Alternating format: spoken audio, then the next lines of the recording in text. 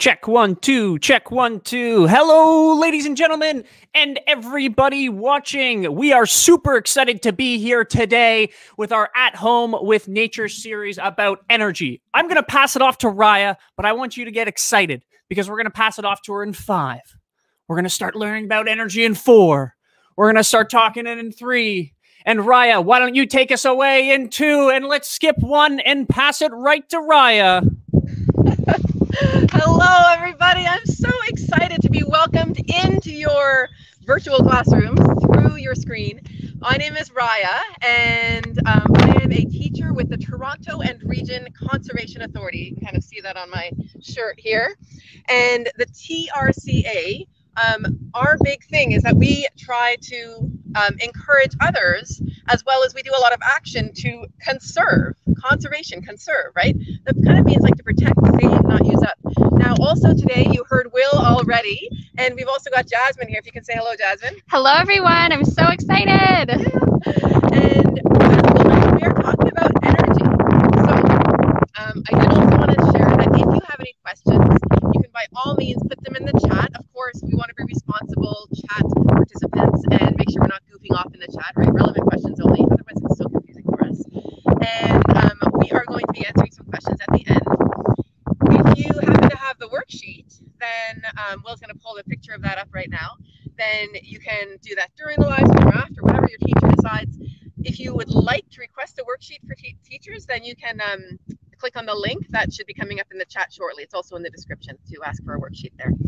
So let's get going. Ladies and gentlemen, boys and girls, I'm going to ask all of you to raise your arms up. So stay seated, but just raise your arms up, shake them around, wiggle them around, and think to yourself, oh my goodness, this feels good. And I know that it's taking energy to do this, right? So how are we able to move our arms? Now that type of energy, that form of energy, the energy of movement is called kinetic energy right? Energy of movement, we're moving. So that's kinetic energy. And um, that is made possible hmm, by fueling your body. So hopefully you had lunch today. Maybe you had breakfast. I hope you had breakfast. Um, and that food that you took in was the fuel to get your body energized, right? So that fuel in your body is converted. Your body does all these amazing things to convert it into kinetic energy to let you move, whether it's waving your arms in the air. You can put your arms down, by the way, if you're still having them up. Um, or maybe getting up to get a drink of water, or whatever movement you might do, even your heart beating. That energy is kind of, it's like an energy transfer from the food to your body um, and then out from there. My talking right now, that's like sound energy that I'm releasing right now, um, which I also had a delicious lunch. So that's helping to fuel my movement and my energy release. Now, um, when we think about where this energy comes from, maybe you had a sandwich for lunch. Maybe there was lettuce in that sandwich and that lettuce grew because what offered it energy? That's right. Maybe ja we can just point to the sun up there. Jasmine's my camera person for the moment here. So the sun is beaming down and providing all kinds of energy to us um, and to plants to allow them to grow. So the lettuce from your sandwich um, would have been growing in response to the sun's energy. And what else? Maybe you had some cheese in your sandwich. Well, that cheese came from maybe a cow, right? The milk came from a cow. The cow ate grain or whatnot, and um, that only grew because of the sun's energy. So it all comes back to the sun. Now, the sun doesn't create the energy. We can't create energy. We can't destroy it either, but we can transform it from one to another. So there's a lot going on in the sun. Here's a quick little close up of the sun that a friend of mine took. And there's so much going on in there. The sun is um, doing a whole special reaction with hydrogen in order to release the massive amounts of energy that the sun releases. We're not going to go into that detail today. It's just too much right now, but it's really cool. So I'm going to put the sun down. Never thought I'd say that. And um, we are going to talk a little bit more about what the sun releases. But I wanted to mention that even though we can't create or destroy energy, we can still use up the energy sources on this planet. So we don't have an unlimited amount of energy sources on planet Earth here. All right. So the sun releases, well, if you can look out your window, you see it releases light energy. So that's one form. We got light energy from the sun. I'm feeling the heat energy from the sun. Um, and other types of energy. I mentioned sound before. We talked about movement, right? There's all these different forms of energy. Let's focus on heat because that's a really important one for humans. Without heat in the winter, we wouldn't be able to survive, right? So let's switch the camera angle here and talk about how we get heat. Well, essentially, to get heat, we can burn stuff. And in the past, um, dung might have been burnt, right? So different like manure, essentially, cow patties and things like that. Um, coal can be burnt to produce heat. Wood can be burnt, maybe a campfire, but also wood stove producing heat or other types of uh, mechanisms by which to get that heat. In all of these methods, there is heat produced, but as you can imagine, there is other energy produced as well. So there's another output. Imagine a fire that's burning. What is the other output? Your goal is to have heat. That's your goal. But what else is produced? If you said light, then you are correct. That's what I'm getting at here. So light energy is being released, but it's kind of lost to the system. Like we don't need the light by producing heat. Um, we are aiming to have um, heat produced to warm ourselves, and the light is just in kind of a lost aspect of energy there. The uh, other uh, type of energy that we've moved to. Hey, Raya, I think it's a little hard to hear. Do you would you mind speaking a little louder? Oh, sure. Thanks, Jasmine, for letting me know. I wonder if there's a setting on my device right now that makes it hard to hear. Oh, actually, I think we're all good now. Okay, perfect. Thank you very much. We always have to manage our tech issues when they come up. So another um, thing that we can burn in order to get energy from it is liquid fuel, right? Those three other examples were solids. Liquid fuel um, turns into a gas. Pretty much, if I was to open the tap, the um, the piece here, the nozzle, then we'd see the gas coming out. But as we're burning this, it's the same idea. We're getting heat from that, right? Now, if this is being burnt in a furnace in a home, this natural gas, then, or this fuel, then the heat energy is fantastic. That's what we're going for. If there's any light or anything else that's lost in the system, then that would be considered the energy that's lost. However, if this is going into a car um, fuel tank, then as it is being burnt in the car to make the car move from one place to another, the movement is our goal. And what is the loss in that case? What is the energy that is lost when fuel is put into a car? In that case, the heat is actually considered lost. It's a lost energy form in that system.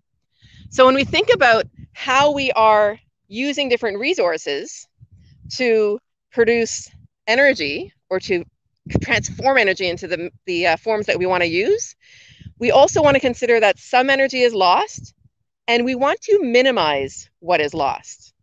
Because if we can really increase the output we're going for, whether that's heat or movement, that's our goal. Just one last thought on the loss, because I love talking about animals. When you think about bees, for instance, then um, as a bee is buzzing, you can imagine like what would it, you know, how do they sound when they're buzzing around? Well, their goal is maybe to get from one flower to another, but that sound energy is kind of a lost um, output. It's not really part of their goal of movement. Okay, that was a fair amount of chatter. Let's get into one of our demos here. So I'm going to start off by showing you something kind of cool. You're like, Raya, that's just the water coming out of a tap. How is that cool? Well, I'll tell you why. So here we have um, water that looks like somebody left the tap on. It's filling a bucket. And as we back up, and we've got the camera focused on the bucket there, as we back up, we actually see that it's attached to a, a, system here. There is 30 meters down in the ground. There's a water pump that is drawing water up from the uh, the water table, 30 meters rather down in the ground. And this water pump needs electrical energy in order to run. So, how is that water pump running right now to fill up that bucket? At the moment, I'll show you, it is using solar energy directly. So we have a solar panel here, and it is transforming the sun's energy, that light energy, all those photons, into electrical energy, and that is fueling our pump. Now, we're going to, I'm going to show you something here. There are, we're talking about alternatives today too, right? So solar is one alternative, one method, these solar panels. Another alternative to filling up this bucket is by using mechanical energy. So transforming mechanical energy into electrical. And in a moment, we're going to have Jasmine come on the bikes, but I want to show you how this mechanism works first. So if the when the bike turns, see if you can see this at the very bottom, get my angle right, that rod actually spins right down in there. And as that turns, well, this is mechanical right now, but we're transforming this mechanical energy into electrical here. And that will then go down into the ground to run the pump. So we just have to change the settings. Dun. And my phone, my device has a mind of its own sometimes. Here we go. So I'm going to change the settings here, turn the bicycle on, and the solar just went off. And you've seen in the picture on the side of the screen that our tap is starting to decrease in its production. And Jasmine, can you empty that bucket? Sure. Jasmine and I are trying to keep our distance here. It's a fun game during COVID times, isn't it? So we're emptying the bucket. You can empty it all the way. Awesome. Wow. That amount, actually, I should let you guys know, the amount of water in that bucket is about the amount of water that you use in each flush. I think it's like 20 or 25 liters. It's a fair amount. So the uh, the solar panel is no longer running this tap. Jasmine is going to get over to our bicy bicycle here and show us this method of mechanical energy transformation into electrical. And you can see on the side when the tap starts going, takes a few minutes, right? We're we're transforming mechanical to electrical, and then that electrical has to go down to the water pump, and we're seeing the water start to come down. Jasmine, how are you doing? Oh, I'm doing good. It's hard. Taking a little, a lot of my energy right now, I think. Now, Jasmine, what did you have for lunch to give you that energy? So, Raya, for lunch today, I had a spinach salad. Spinach salad. Okay. Hmm. And where did the spinach get its energy from in order to grow? So, I think that that spinach would have gotten its energy from the sun. And This, I had tomatoes in my salad. I had onions in my salad as well. And I think those all grew using the sun's energy. oh my goodness. Okay. So the uh, sun is indirectly powering this system. And let's see how our how full our bucket is. So keep pedaling there, Jasmine. I'm making her work hard. And you might hear my voice double because I'm coming up to our other device that is focused on our bucket. All right. You'll see it's not very full yet. Maybe that's an inch or so. And thank you, Jasmine. You can actually stop pedaling now. Um, and so Jasmine was working pretty hard there in order to fill that bucket up. And um, we got about an inch. And that was, gosh, maybe a minute or so, minute and a half. Guess what? When the sun is having at her, we'll get this switch back. It takes about two or three minutes to fill up the entire bucket on a sunny day. So these are two alternatives to producing this electrical energy, whether it's the mechanical from the bike, which originated from the sun as well, right? Um, we have the sun growing the food that goes into Jasmine's body that then turns into this kinetic energy in her body, and then mechanical with the bike, and then electrical. Oh my goodness, what a row of cascading transformations there.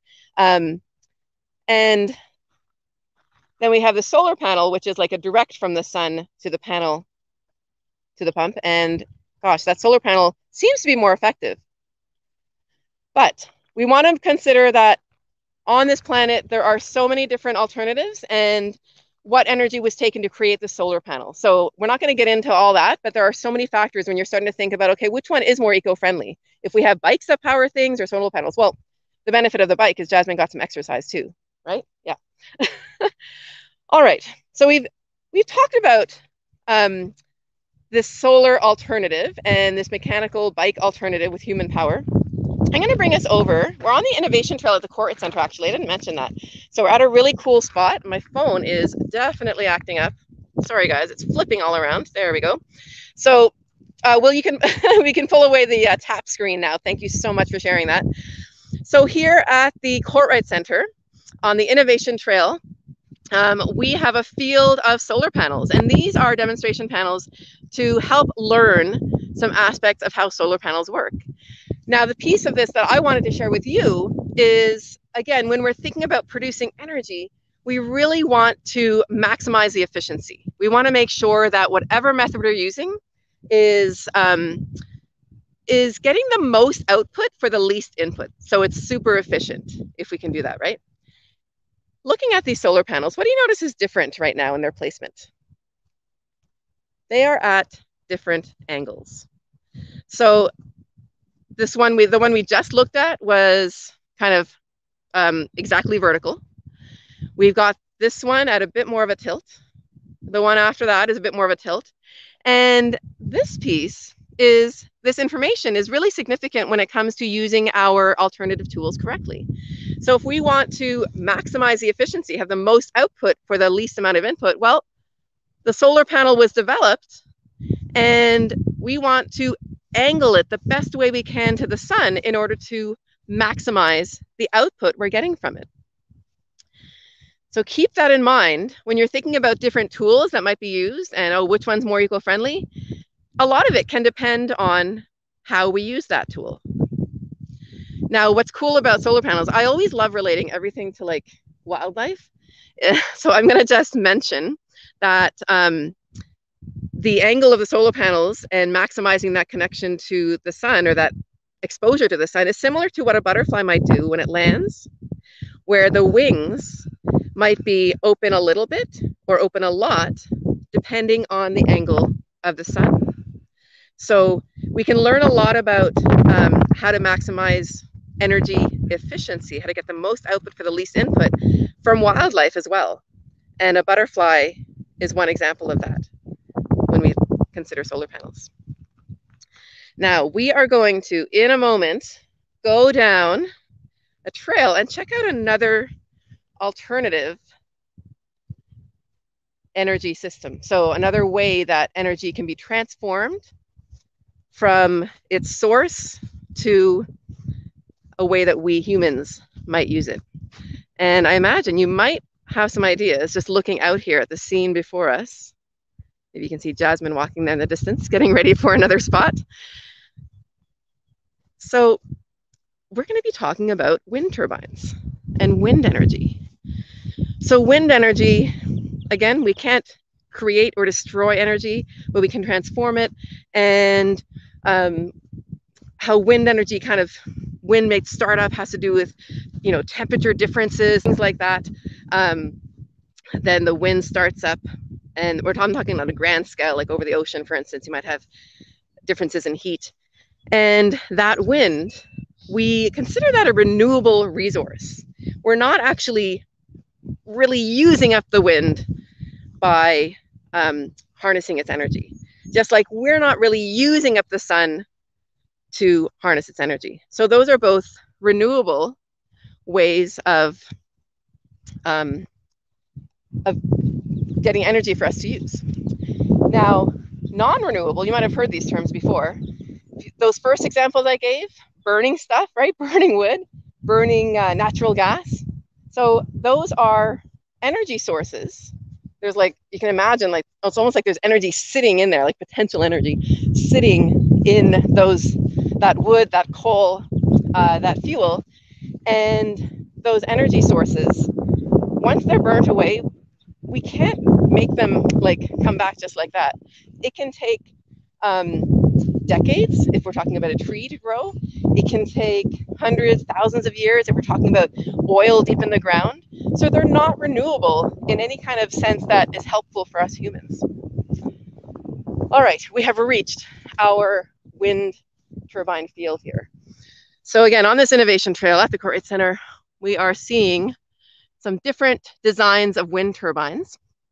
And what I wanted to point out here were a couple of things we talked about the solar panels like you have a tool you want to use it correctly right you want to maximize what you're getting out of it same with the wind turbines if your wind turbine is really low um, underneath the tree line, and I'll show you where the tree line is. There we go. There's a line of trees.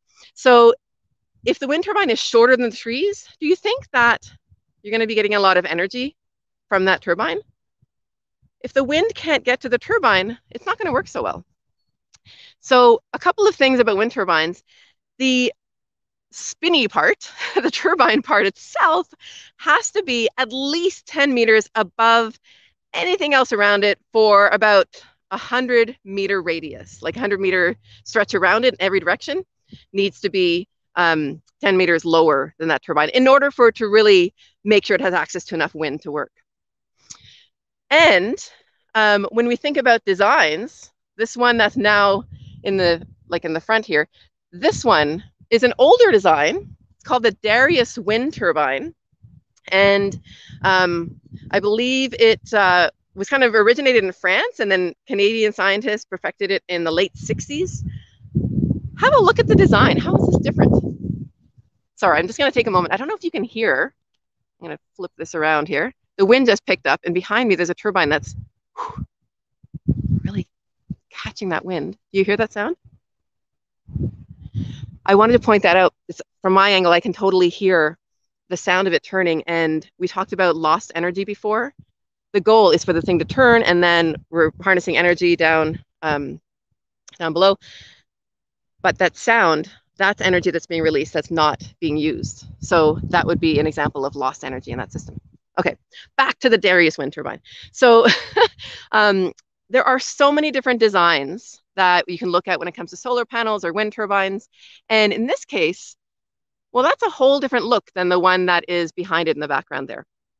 Um, the blades are kind of vertical more so than the one at the top in the background where the blades are in a different angle. And so they can catch the wind differently.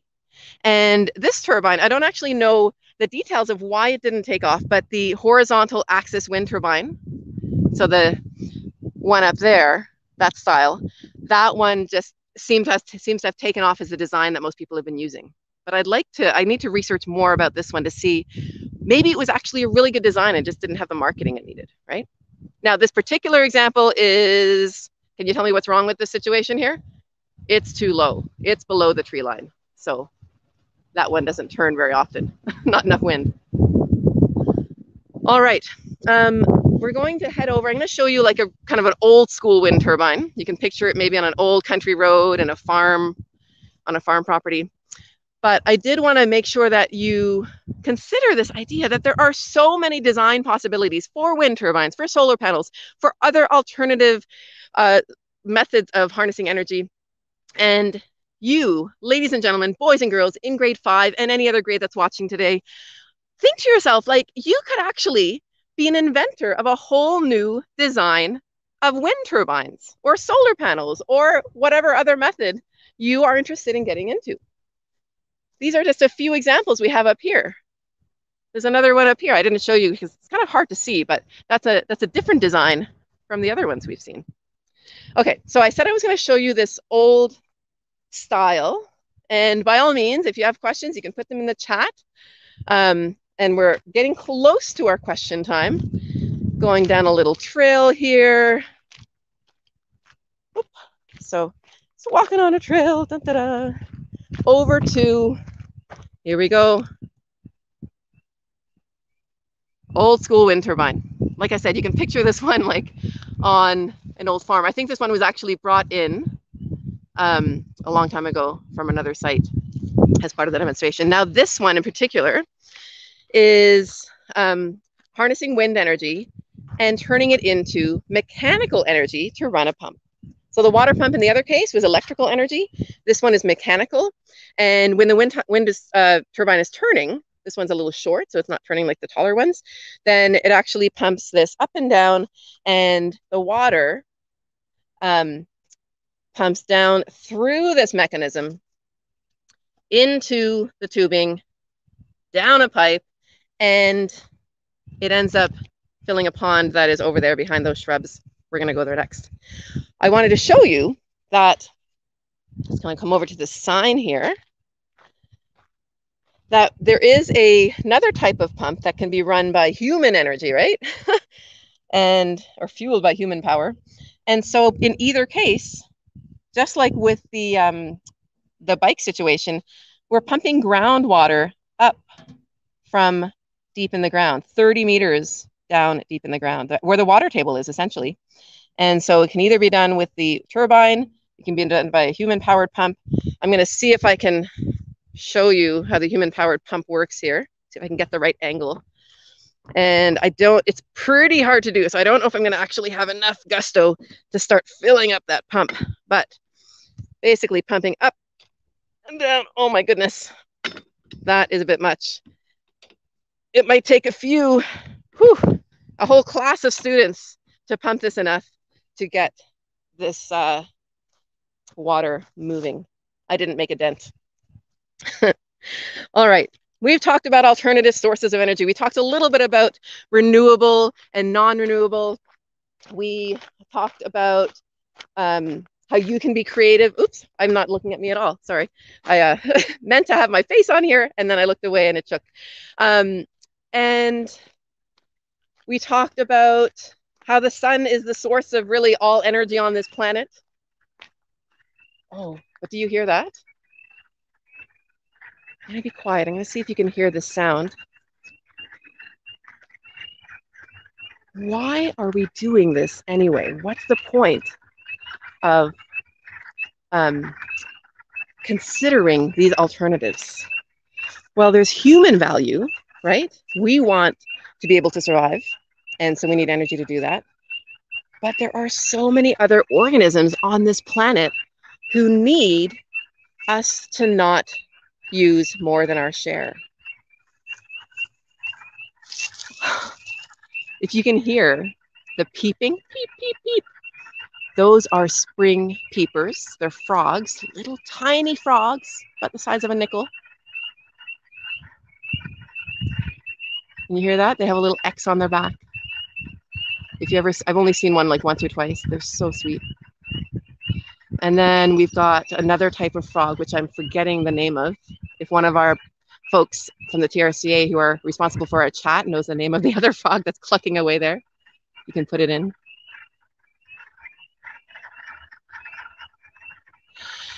And we set up, you probably can't see it from your angle, but we set up a scope here because we wanted to show you one of the animals that actually is in this pond that is um, here as part of the innovation trail. And we have the screen to show what the scope shows. Scope shows. Oh, that's a whole lot of fun. Check it out. In the pond right now, there are numerous, maybe I'll, I can turn this screen, numerous little turtles.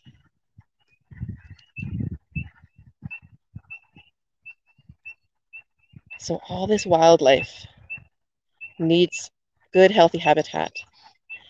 And if we decide to, you know, burn too much stuff essentially, and we destroy habitat to do that, if we are using too much energy, then this wildlife doesn't have a home. There are a couple of mallard ducks in the middle there. I'm not sure if you can see them. Oops, there we go. I can't turn the scope away from the turtle, unfortunately, to show them up close. So when we think about when we think about um, all these alternative sources of energy, we really also want to conserve energy. It's not just about, oh, I switch to solar or I switch to wind, therefore I can use as much as I want because it's renewable. Well, it still took energy to make a solar panel. It still, and resources. It took energy and resources to make a wind turbine. And they don't last forever. So we don't want to, you know, use them if we don't have to. Conserving energy is another key part of this whole energy conversation. And when we think about energy conservation, then um, we can again take our cue from wildlife. So earlier I showed the butterfly as an example of wildlife that we can learn from, you know, the way they angle their wings. We can angle our solar, solar panels just right. Another um, example of wildlife we can learn from is, I'm just getting it out of bag here, sorry. I see in the middle of my nose there as I get up close, is this guy. So a chickadee is a bird that, like many other birds, when they get cold, guess what they do? They fluff up their feathers. That's one of the things they'll do. They'll fluff up their feathers to create a thicker layer of insulation, and that can hold their heat in better. And so when you think about what you're putting on in the winter to stay warm, to conserve energy, instead of turning up the heat in your house and using more energy, burning more fuel, you can think about, well, I'm just going to put on some big, fluffy, warm layers. I'm going to put on some wool socks. There are animals. I'm just pulling out a picture here to show you that we can learn from who are terrestrial. So the bird is like an avian animal. But if we think about foxes, like this guy here, look at that thick, thick coat. Again, with this thick layer of fur, they are able to hang out in the winter and go about their fox lives. and we can learn from that as well. So if we dress better in the winter, we don't have to use as much energy to stay warm, right? Other, you can probably think for yourself about examples of energy conservation. Maybe you've talked about this, biking instead of driving. I mean, that's a that's one that um, a lot of people like to do, or walking instead of driving. So we've talked about quite a bit and I, I always like to end on like what can we do? And so we've talked a bit about energy conservation. I want you to think about more and you can put them in the chat if you like more examples of ways that we can conserve energy maybe examples of things we can learn from wildlife or how we can conserve energy. Um, if you need to, if you need we're going to answer some questions but if you need to go at this point then by all means we want to thank you so much for joining us and um, taking part in our nature in your classroom live stream today but we'll be on for another 10 minutes or so to answer questions. So thank you for those who need to go. And um, as far as questions go, Jasmine, do we have any questions that I can answer? Hi, Raya. Yeah, so we have gotten some questions in the chat. Um, one of the questions was about the solar panels that you showed earlier. And one question about those was Does the sun always need to be out for the solar panels to work? That is a great question, Jasmine.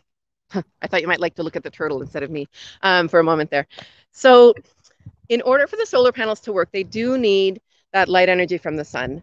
But what you can attach to a solar panel is a battery. So if the solar panel is transforming more energy than what is needed for the use that you're doing, you know, um, in a given moment, then like that water pump that was a lot of water. Like when we first arrived at that bucket, it was spilling over. So if it's producing more energy, you could attach a battery to it. That one didn't have one, but you could attach a battery to it to store that energy. And then when it's dark or when there's not enough sun or it's too cloudy, then um, then you can use the energy that was stored. So it does need sun in order to work, um, but there are ways to kind of get around that that restriction. Great, amazing. Um, another question we had about the solar panels is asking why are they different sizes? Are they better when they are bigger? Good question. Um, there are so many.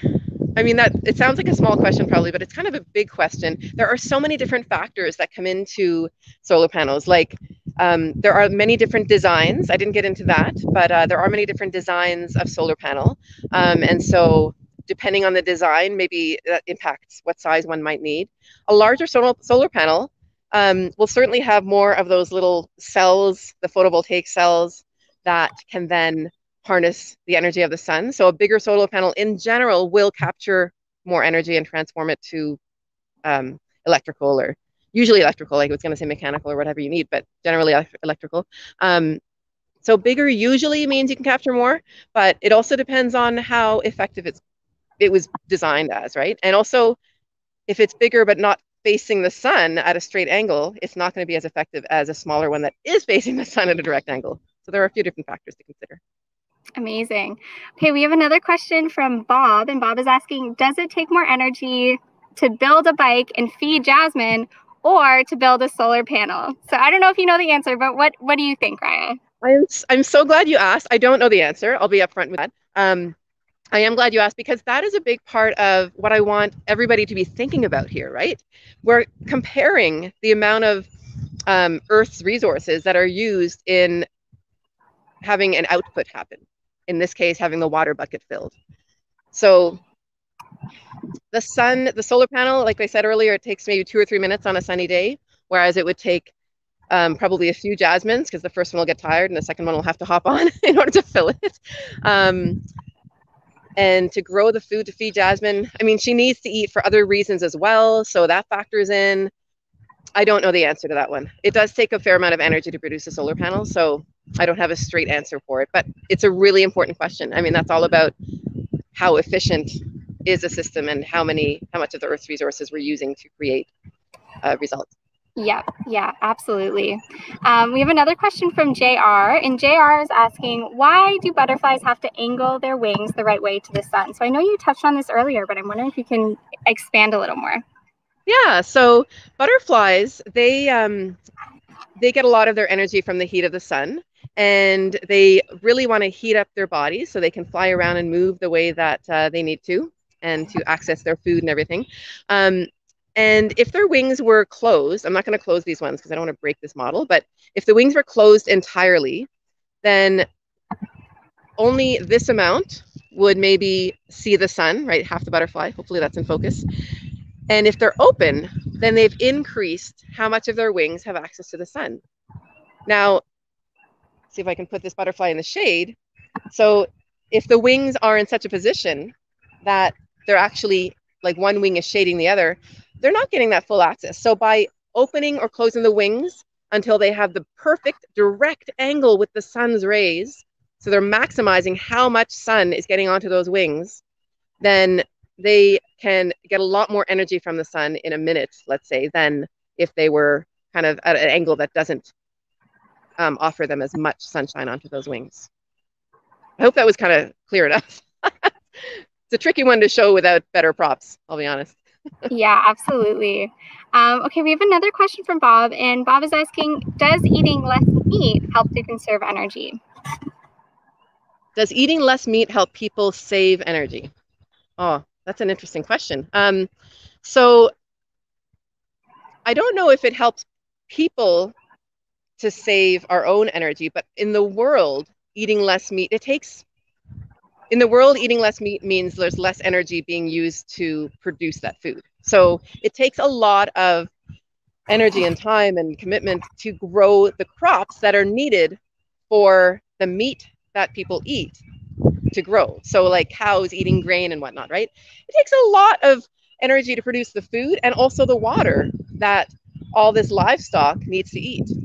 And so, if we eat less meat, then um, there's less energy that has to go into that system to happen. There's a whole lot of other factors around there. I won't get into too much of this rabbit hole of a story, but um, like when you think about the space that is used up for agriculture to produce to produce livestock or have livestock grow. Um, so if you're eating a higher diet in vegetables or in grains um, yourself, then you are having less of a negative impact on the planet when it comes to how many resources are on the planet. It's a good question. I don't know if, as far as the human body is concerned, like how much energy does it take to digest the meat and that sort of thing. But mm-hmm. in a mm-hmm. big picture, yeah, reducing meat consumption is a good idea. Absolutely. Yeah, it's a great question. Um, we have another question from Janet who's asking about the older wind uh, wind turbine that you showed, and they're wondering if it still works.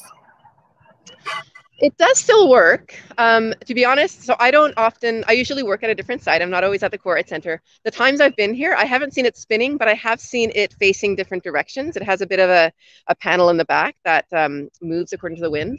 Because it's kind of low, it's below the tree line. Um, oh, it's turning just a tiny bit now. Because it's kind of low, it probably isn't um, in the most efficient location. And, um, but if it was, then it does it does still work. It just doesn't uh, get to do that very often because of its height, I think. I'll turn it again so you can see the back of it. So it was just moving for, you can see it moving a tiny bit there. Um, but it's not going nearly as fast as the ones that are further in the background here. yeah. Awesome. Okay, we're gonna have end off with two questions. So our first question before we end off is, um, what's the main reason solar panels were invented? And this is from Audrey, and I think we can kind of answer that question thinking about our other, you know, our wind turbines as well. Why were these created? Yeah, so wind turbines and turbines in general, like water turbines, they are actually really, really old. The new style that we see, that's kind of a newer design of them, but um, gosh, like I don't know how many years ago exactly, but at least 100, I want to say 150 probably, um, turbines have been in existence. And we just kind of, as we've been looking in the last you know several decades thinking about okay we need to find alternative energy sources that are renewable that's where we've sort of redesigned them more um, solar panels oh gosh i don't i read the year the other day and i don't remember the year that they were first designed but um, the idea of the sun providing energy is an idea that's been around for a very long time and the technology to develop the solar panels i want to say it was at some point in the last several like in the last half century, but I don't actually know for a fact. It could have been in the early 1900s. I don't. Does anybody else know on our TRCA backend team? it's a good question. I just don't have the answer at the tip of my fingers. Uh, at the tips of my fingers. Great. Well, we'll end off with one final question, and that question comes from Carly T, who is wondering, can we visit this location? Oh, good question. Yeah. So the Kortright Center um, at the moment, I don't believe it's open to the public. I'll have to double check on that. Like I said, it's not my main site. But if you are interested in checking out the Innovation Trail virtually, um, I do know that sometimes tours are available, and you can go to the Kortright website and contact them through the website to see if um, to see if the innovation tour innovation trail tours are available these days and uh, and kind of learn more. We just did a really brief overview of some of the pieces of the trail um, but there is a lot more that can be learned and shared on the innovation trail at the Kortright Center Amazing. Well, thank you so much, Raya. I just found out that apparently the first uh, solar cell was created in 1883. So, also very old technology. It's been around for quite a while. Excellent. Thank you for looking that up. Before the 1900s. Perfect. so, thank you so much, everybody, for tuning in today. Um, it's been great to be welcomed into your spaces, and we will have another live stream coming up in two weeks. And um, hope to see you there. I'm going to turn the camera to the pond, and I'll be quiet for just a moment so you can actually hear this chorus of frogs behind me, which is just beautiful as we sign off. So, thank you, everybody, for joining and keep getting outside. Thank the sun next time you go outside for all the energy it provides.